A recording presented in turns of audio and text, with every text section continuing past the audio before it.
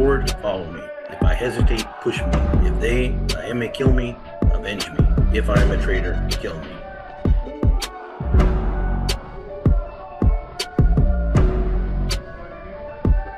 Gangsters, cops, and politicians, get ready to rock on a mission. Each one of us shares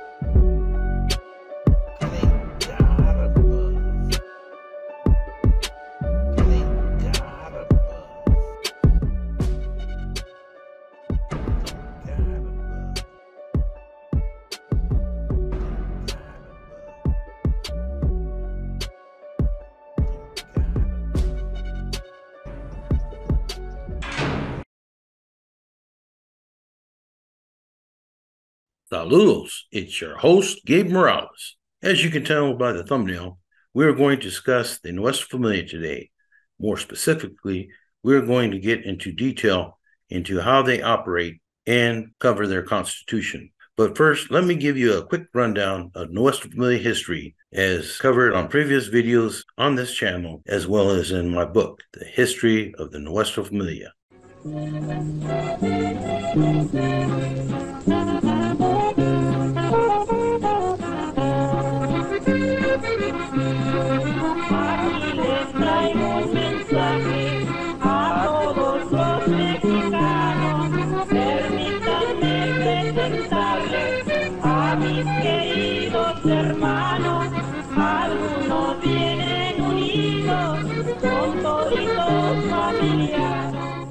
Money, power, and control is the most common thread to all prison gangs. The official symbol of the NF is a sombrero, which signifies their cultural pride as being Mexicano Chicanos.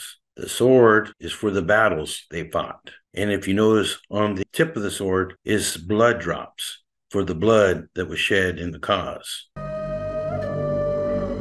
The NF has an oath. If I go forward, follow me. If I hesitate, push me. If they, I may kill me, avenge me. If I am a traitor, kill me. This is something that NF prospects have to recite and remember, as well as the Constitution and other laws of their organization. Contrary to what you may have heard or read on some websites and publications, the Nuestra Familia, Spanish for our family, was not a criminal organization of primarily Mexican American or Chicanos who had their origins in Northern California. No, in fact, all of the original founders were from Southern California. Some of these individuals were Little John Valdez from Little Valley, who was chosen to be the first padre of the organization, Gonzalo Chalo Hernandez from Bakersfield, who actually started the group, but I understand put Valdez in charge because he was soon to parole and they wanted to carry their organization out to the street. There's Freddy Gonzalez from San Diego, Black Jess Valenzuela from Oxnard, Colonia Chiques, Bruce Huero Morgan from Clanton, and Robert Dido Medina from Pacoima. And after Little John Valdez paroled, another guy, Juan Lips Valdez, was chosen to be the NFM Padre. And he was from Bassett Grande in the San Gabriel Valley. As you can probably tell, all of these original Nuestra Familia Mexicana leaders were from Southern California, not Northern California. When Chalo first started the organization, he had to be very careful because the Mexican mafia was on the prey. So the organization was often codenamed the Blooming Flower. This is not to be confused with Nuevas Flores or New Flowers today, who are NF dropouts or former NF associates. Also, while the Bureau of Prisons has put the validation title of LNF on the organization, or the O as many call it, in my 40 plus years experience monitoring and dealing directly with Nuestra Familia as a civilian, as an officer, and as the founder of the International Latino Gang Investigators Association, I have never seen an LNF tattoo on a member. Neither did our first vice president, Rick Cowboy Handel, who worked for years as a correction officer at the Santa Clara County Jail. which is known to be an NF stronghold, and who dealt directly with many NF brass. No, it has always been just the NF or NFM unseen on these early paños. The NF and its traditional rival, La M, or the Mexican Mafia, is covered in multiple previous videos on this channel, started before there were sureños or norteños in existence. The MA started in the late 1950s, and the Nuestra Familia Mexicana started forming as a clandestine cultural revolutionary organization in the mid 1960s, first at the California Training Facility in Soledad as Nuestra Familia Mexicana. The original constitution reads Article 1 Name and Purpose. This organization shall be known as Nuestra Familia Mexicana Latina. The purpose of this organization is to help with the progress and to serve to bring more unity to the people of Mexican extraction. Article 2 Objectives. The objective of this organization shall be to discuss contemporary problems of the people of Mexican extraction, such as social, political, economical, cultural, and to find workable solutions to such problems confronting our people today.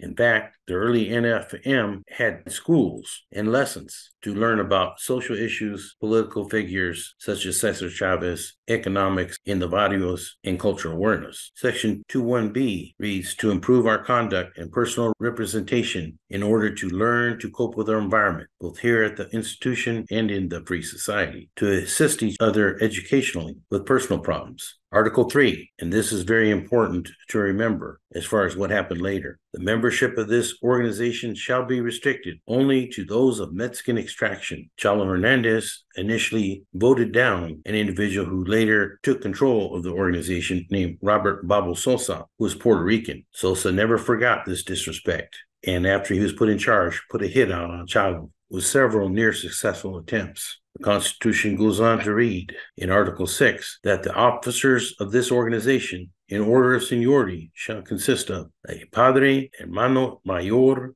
hermano menor, hijo mayor, and hijo menor. It is my understanding that when Chalo first started this organization, that there were over a dozen individuals who were interested in this blooming flower. But he told them that this would be a commitment for life, a blood in, blood out organization, and that if they wanted to step away, they could at that time. And all did except five were given one of these five positions. I'll probably have to do a special episode on Chalo Hernandez. He's a very interesting figure, but more details are included in my book on the NF.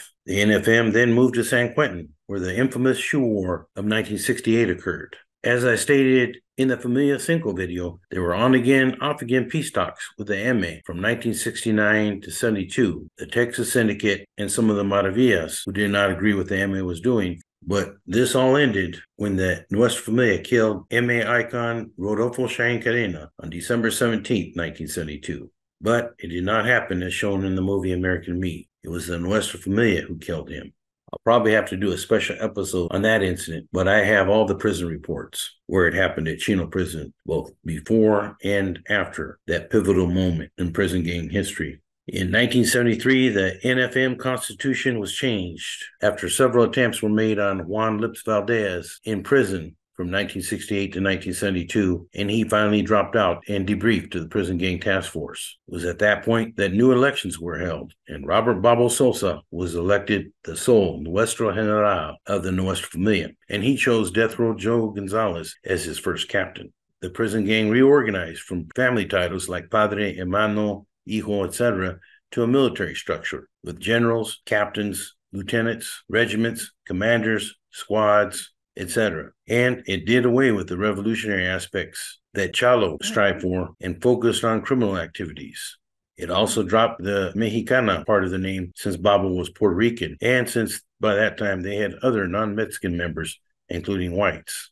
The Aryan Brotherhood and MA remained NF traditional enemies for decades, while the Black Guerrilla family were viewed as allies since they had mutual enemies. The Nuestra Familia were locked down after CO Jerry Sanders was killed at DVI in November 1973 by radical black prisoners. This greatly impacted the Nuestra Familia and Black Guerrilla family operations in the system. After hearing some videos, reading some articles and books, I can tell that some people were just schooled wrong with information not based on hard documentation or historical facts. There was no Nuestra Familia in 1960, as some have claimed. No, They started in the mid 1960s. Also, as I stated in the Familia Cinco video, they were not the predecessor of the NF. Under the Babo Sosa regime, the NF expanded rapidly. By the late 1970s, some law enforcement believed that there were around 700 made or close NF associates but that number was greatly impacted after a bloody war between the Babo Sosa Death Row Joe faction against the Black Bob Vasquez Brown Bob Villamontes faction in the late 1970s through 1980s, which led to hundreds of them defecting as CDC locked down most validated gang members during that same time frame or hit them with RICO cases. So there was never even close to 7,000 made carnales in the NF like some people claim. I don't know how they come up with some of this nonsense I sometimes see or hear. And according to CDC statistics in the year 2000, there was only 137 Nuestra Familia members and 107 individuals noted as being NF associates. And today, especially with all the infighting and dropouts, there are probably under 100 still active made NF Carnales and under 200 made California Mexican Mafia in the county, state, and federal correction systems today. That is a fact. By the mid 1970s, members of Northern California Chicano gangs did start identifying themselves as norteños. This was first documented with the Fresno Regiment around 1974, and Norteños were the primary recruitment pool for the NF. Meanwhile, there were MA members in Northern California since the early days, but the MA concentrated on recruiting primarily from Southern California, Sureño barrios, and neighborhood gangs by the late 1970s. There are a couple of high ranking NF members still alive who hail from Southern California. Now, there are lots of Sureños in Northern California today, and I know this is going to upset some active Norteño members, but I think many of the NF brass are already aware of this. I talked to a regional Bay Area police analyst who's very knowledgeable on Norteño gangs in the NF. And way back around the year 2000, he told me at a training conference, you know what, Gabe? We have thousands of gang members in our database. And even I was surprised when the last printout indicated that Sureños slightly outnumbered Norteños. Now, some of you may say, what is a Huron know? I can tell you, and having seen a lot of these databases and intelligence, a lot more than you think. So ponte trucha, homeboy. He added that this was the first count where that had happened at that time, and he had no doubt that Sureños were rapidly expanding in Northern California, as I do. Meanwhile, there are rarely any Norteños documented in Southern California, according to my law enforcement sources, as well as gangster accounts, unless they're just passing through. Now, I realize that some of you may be upset by these statements and maybe have already hit the X on this video and opted out of what you don't want to hear or admit. But Sureños have always outnumbered Norteños, and the MA has always been larger than Nuestra Familia. Pero ya sabes, even Grandpa Skip has addressed this dilemma in the past and in recent NF filters. So, hey, it is what it is. I don't make it up. I'm more like an empire. Just call them balls and strikes. I have no favoritism to either side. It is true that the NF membership, which primarily operates in prisons, as carnales rarely remain on the streets for a very long time, once influenced much of the criminal activity of thousands of Norteño gang members in Northern California. But that has changed in recent years. Northern Riders, New Flowers, and other groups that were covered in my Dropout prison gang episode. The NF would often convince young Norteños to put in work and make contributions, as they like to call it to the O. They call it this term to appear less oppressive than the Mexican mafia, who flat out call it taxes or paying rent in order to operate and exist as a Sureño gang member. But the NF propaganda is just that. If you don't contribute, they will take your money and your dope and your car and whatever else they feel they deserve as a made NF Carnal or as an ambassador of a made Carnal. In other words, as an NF associate of one, provided they were given proper clearance through their channel by NF shot callers. The Nuestra Familia's main source of income are distributing drugs within the prison systems. But in more recent years, they have also made a lot of feria introducing, selling, and controlling other contraband, such as cell phones. Originally, the NF made a directive that you couldn't use heroin, but that did not go over well with the majority of Tecatos addicts in the hole. It went over even less when they found out that Babo and Death Row Joe were using Chiva and allegedly embezzling funds. Both put out hits on multiple members and cleaned house. This caused a lot of paranoia in the O, and a lot of guys stayed in their cells and would rarely come out, thus the term hermits. In my opinion, the Mexican mafia and sureños are more fluid. As I stated before, the MA does not have a written constitution, although they do have recognized informal reglas that was covered in a Mexican mafia video. The sureños were even more fluid until they became a little more organized under MA direction after the MA edict was put out in the early 90s. It was shortly after that that I started seeing copies of Sureño Reglas come out of the LA County Jail and discovered on different yards in the California Department of Corrections. But in my opinion, the, the Nuestra Familia has always been more organized with constitutions that have been reformatted over the years, as well as directives to record all known members on the streets and in jails and prisons. Thus, these roll calls differentiate between members in good standing and members that are on a hit list, sometimes called the bad news list. So while these roll calls make it easier to determine who is who within the organization, it also made it easier for law enforcement to keep track of these individuals.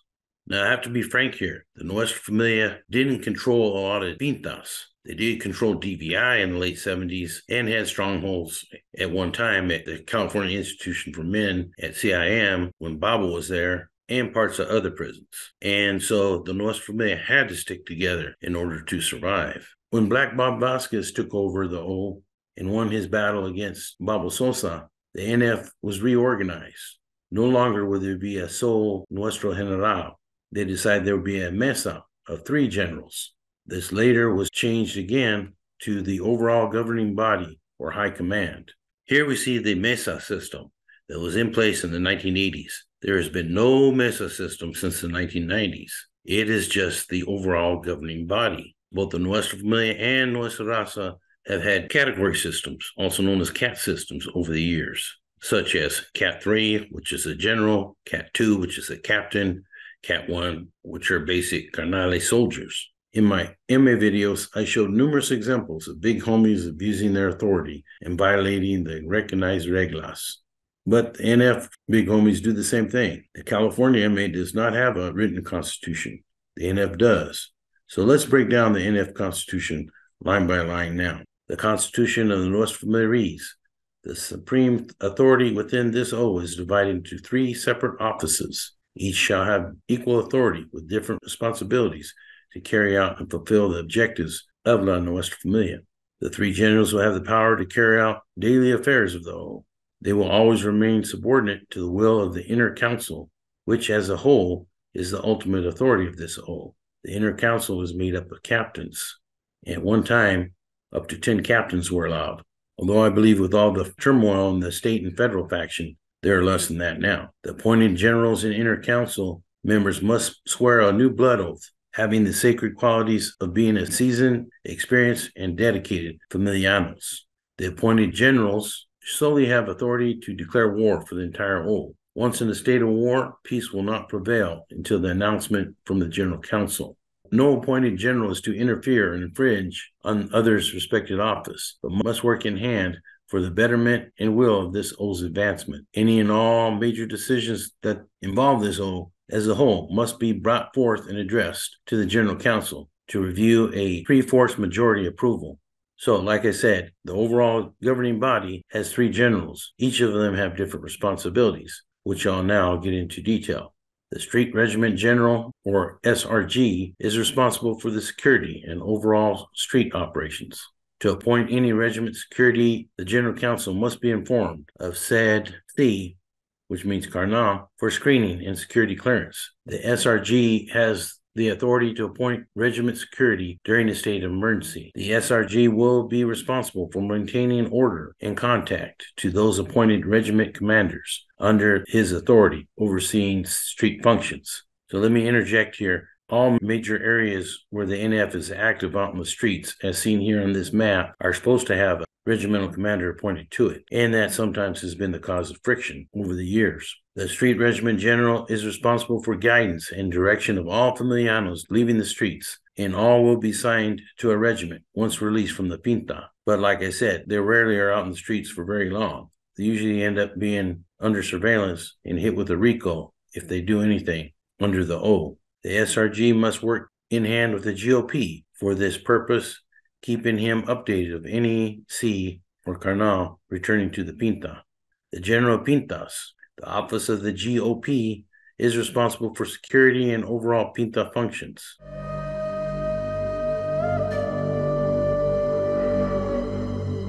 The third general's position is the General Advocate's Office. This is more like the investigative position for the organization. They look at what is happening on, on the street when communicating with the SRG and what is happening inside the Pintas when communicating with the GOP, and often have the tiebreaker vote. Under the General Advocate's Office, responsibility will fall the safeguarding of the organization's main bank deposits. Supposedly, as I stated earlier, all NF regiments are supposed to have a bank whereby they are to replace funds and report this to the GAO.